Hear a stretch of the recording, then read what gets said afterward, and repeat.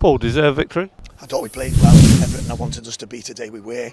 Um, we want to be a team that, you know, works the hardest on the pitch, which I felt we did because we believe in our fitness. It's nothing to do with anyone else's team's fitness, but we believe in ours. Our lads work every day to be as fit as they can, and we want to dominate the ball. First half, I thought we were excellent. We created so many chances. I thought I thought it was a really good win. Just what we all needed. You know, we have them two defeats and it knocks everyone down. And then we're up again tonight and then we're down. And as it just keeps saying, we've got a good team. We've got good players. We're going to have plenty of bumps and bruises.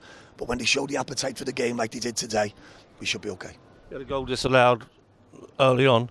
Yeah, we just we, we just created chances, John. Away from home, have been really tough on the lads this week. You know, I wouldn't call us lifeless, but we haven't created. We, we, we have to create chances. We can't fall into a lull. What the opposition wants, whether that be at Blackpool where we got dominated by physicality, at Accrington where the game was very stale and bitty. We've got to make sure that we impose ourselves on the game. I felt we've done that well today.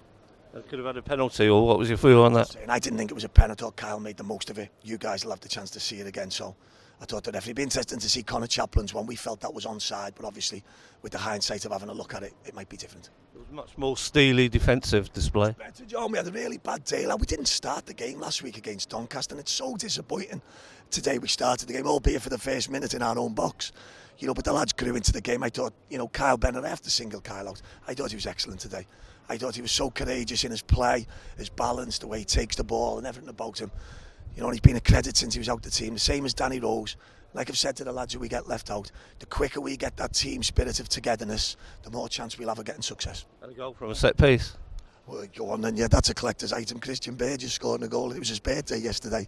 I think his parents were here today, so we'll have to have a birthday every week and his parents follow us everywhere. But just pleased today for everyone. I don't know what happens in Tivno, but we're just happy. That's, you know, away from home, we haven't looked a good team. I felt we looked a good team today. That's only my opinion on the game.